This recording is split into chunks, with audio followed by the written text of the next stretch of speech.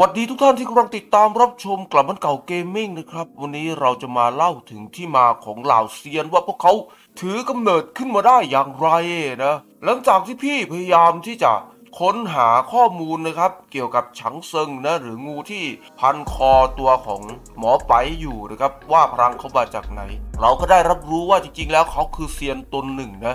ซึ่งอยู่กับตัวของกุยจงมานะ ลาวเซียนนะครับ มีความหมายว่าสัตว์ที่ส่องสว่างนะเออหมายถึงสัตว์วิเศษที่ส่องสว่าง และมีพลังอมตะนะครับ มีความสามารถที่จะตัดสรู้นะมันถูกอธิบายไว้ว่า the mighty and illumination นะครับ ก็หมายความว่าไม่มีวันตายนะเออแล้วก็มีพลังในการส่องสว่างนั่นเองนะครับ ราวเซียนนั้นเริ่มมีมาตั้งแต่เมื่อไหร่นะ จากเนื้อเรื่องของจงลี่และกุยจงนะครับ เราจะทราบว่าหลังจากที่เกิดเหตุการณ์ขับซีไลออกจากสวรรค์แล้วนะครับจงลี่กับกุยจงก็ร่วมกันสร้างอาณาจักรกุยลี่ขึ้นมาเนาะหลังจากนั้นครับถึงได้กำเนิดเหล่าเซียนนะเข้ามาอยู่ในอาณาจักรของกุยลี่นั่นเองนะในความเชื่อของชาวหลีเย่นะครับ หรือแม้แต่ในตำนานภาคส่วนของเออเจ้าสำนักกู่ฮว่านะ เขาบอกว่าเจ้าสำนักกู่ฮว่านั้นคือเซียนนะครับ เมื่อตายไปนะครับเขาก็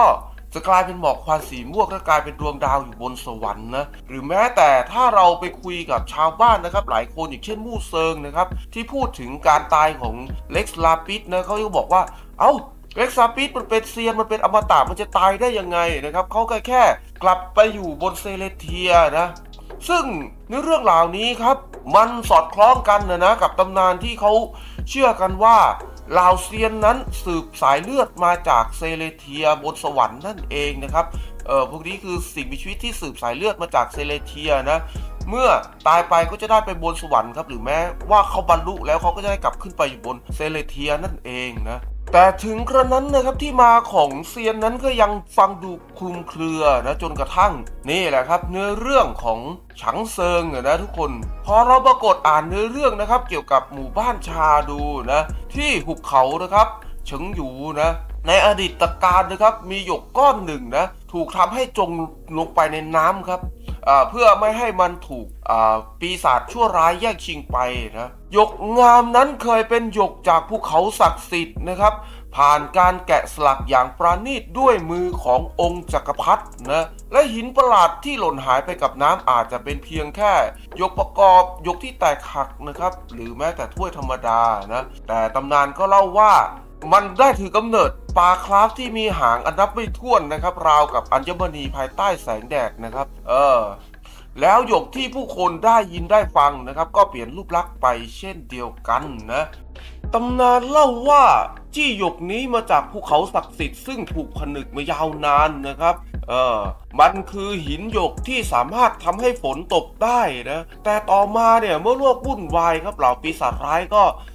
โลภในอำนาจของตนนะ เจ้าแห่งหุบเขานะครับ ก็เลยแยกมันออกเป็นหลายส่วนและสร้างรูปร่างต่างๆนะ เพื่อปกปิดมันเอาไว้นะครับ จากนั้นก็ซ่อนมันไว้ใต้ผืนน้ำบนภูเขาบางส่วนก็ถูกนำไปถวายบูชาที่ศาลเจ้านะครับ แล้วก็เครื่องประดับหยกเหล่านี้ก็ได้รับพรนะจากพันธสัญญาแห่งเทพนะครับเนื้อเรื่องราวนี้นะครับ ได้บอกบอกเราว่าเดิมทีนั้นมันมีแร่วิเศษอยู่นะเออหลังจากนั้นเนี่ย จงลี่ก็นำมันมาแกะสลักนะครับ แกะสลักเป็นรูปร่างต่างๆ แล้วก็นำมันไปไว้ตามที่ต่างๆ นั่นเองนะ หลังจากนั้นเขาก็ให้พรแก่มันครับเออ ก็คือเสกนั่นเองครับเออ ให้พรเดอเกมนี้จะใช้คำว่าให้พรนะครับ ตาม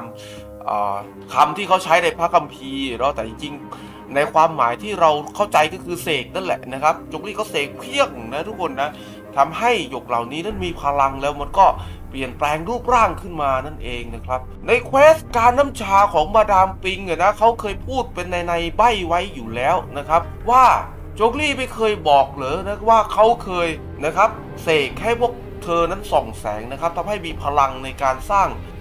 มิติการน้ำชาขึ้นมานั่นเองนะเช่นเดียวกับอาซาเดเฮนะครับทุกคนครับที่โจกลี่นั้นก็ แกะสลักนะครับร่างอึ่งอ่างของเขาขึ้นมานะครับ แล้วก็เสกให้เขากลับมามีชีวิตนะดังนั้นจริงๆแล้วที่มาของเหล่าเซียนต่างๆนั้นนะครับ ทุกคนครับก็ถือกำเนิดขึ้นมาจากตัวของจงลี่นั่นเองนะที่เขาได้ใช้แร่วิเศษนะครับ เอามาแกะสลักนะเป็นรูปร่างต่างๆนะครับ แล้วก็ใช้ผ่านกรรมวิธีต่างๆนะแล้วก็เสกขึ้นมานะครับ แล้วก็ทำให้หยกเหล่านี้นั้นกลับมามีชีวิตนะ แล้วก็กลายเป็นเหล่าเซียนนั่นเองนะ เช่นเดียวกับสิ่งมีชีวิตทรงพลังในเมืองต่างๆ ครับ ไม่ว่าจะเป็นพวกอารานาระนะที่ถูกสร้างขึ้นโดยรุกขเทวดานะครับเหล่าล็อกโฟกนะครับที่ถูกสร้างขึ้นโดยเทพแห่งน้ำนะพวกลิลูฟาที่ถูกสร้างด้วยนบีมาริกานะครับ หรือแม้แต่พวกวิญญาณแห่งลมนะอย่างเวตินะครับที่ถูกสร้างขึ้นมาจากอิสลอดนะ แท้จริงแล้วสิ่งมีชีวิตที่มีพลังเหล่านี้นั้นถูกสร้างขึ้นมาจากเหล่าเทพนั่นเองครับดังนั้นพวกโยไกนะทุกคนนะในเมืองอินาซึมะเองนะครับ ก็น่าจะถูกสร้างขึ้นมาจากตัวเทพแห่งสายฟ้านะครับ แล้วตัวเทพพวกนี้นะครับได้รับพลังมาจากไหนในการสร้างสิ่งมีชีวิตเทพเหล่านี้นะครับ ทุกตำนานนะทุกคนนะ เวลาที่พูดถึง The Second Impact นะครับ หรือว่าพูดถึงการมาถึงของลูซิเฟอร์นะ มักจะเริ่มต้นด้วยประโยคซ้ำๆนะครับที่พูดว่า เมื่อครั้งที่เล็กซ์ลาปิดยังเป็นละอ่อนนะ ไม่ว่าจะจากในหนังสือเล่มไหนนะครับ หรือว่าจากในอาร์ติแฟกต์หรือว่าของอะไรก็ตามครับ ถ้าจะพูดถึงบาปแรกแห่งสวรรค์นะครับ ก็จะพูดประโยคเริ่มต้นด้วยประโยคนี้เสมอนะ เมื่อครั้งที่เล็กลาปิสยังเป็นละอ่อนน้อยนะครับ ซึ่งมันบ่งบอกถึงอะไรนะทุกคนนะ บ่งบอกว่าแท้จริงแล้วนั้นตัวของเล็กลาปิสนะครับ หรือว่าจงลี่ เขาก็คือซีไลนะครับ หรือว่าเทวทูตจากสวรรค์นั่นเองนะครับ เออ ซึ่งอยู่มานานตั้งแต่สมัยก่อน The Second Impact แล้วนะ เออ เขาถือกำเนิดขึ้นตั้งแต่ตอนนั้นนะครับ เช่นเดียวกับนบีมาริกานะ พวกนี้คือพวกที่ถูกขับไล่ออกมาจากสวรรค์ครับ แต่ว่าก็มีพลังนะความสามารถที่จะสามารถสร้างสิ่งมีชีวิตเทพออกมารับใช้ตนเองได้นั่นเองนะ ดังนั้นเหล่าเซียนทั้งหลายนะครับ จึงถือกำเนิดขึ้นมาได้ด้วยพลังของ Rex Lapis นะครับ หรือว่าจงลี่นั่นเองนะแต่ทว่านะทุกคนนะท่ามกลางเหล่าเซียนนะครับ นอกจากจงลี่แล้วเนี่ยยังมีเซียนอีกตนหนึ่งนะ ที่ไม่ได้ถูกสร้างขึ้นโดยจงลี่นะครับ จากการศึกษาของสรยานะครับใน quest สมบัติของกุยลี่นะมีเทพอยู่องค์หนึ่งครับ ซึ่งสืบเชื้อสายมาจากที่ใดและปีใดไม่ทราบนะ แต่ว่าเธอนั้นสืบเชื้อสายมาจากสิบิชีวิตที่เก่าแก่มากครับก่อนช่วงสงครามอาคอนนะครับ ซึ่งเธอผู้นั้นก็คือกุยจงนั่นเองนะทุกคนนะแทบที่สืบเชื้อสายมาก่อนที่จะเกิดสงครามอาคอนนะครับ นั่นก็บ่งบอกหมายถึงว่า กุยจงเองก็เป็นซีไลนะครับ หรือว่าเทวทูตจากสวรรค์เช่นกันกับมอร์ร็กซ์นั่นเองนะ และต่อมาทั้งคู่ก็ได้มาอยู่ร่วมกันนะ แล้วก็สร้างอาณาจักรกุยลี่ขึ้นมานะครับ แต่ถึงกระนั้นนะสเกลพลังที่ถูกอธิบายไว้นะครับ ในเรื่องของกุยจงนะก็บอกว่า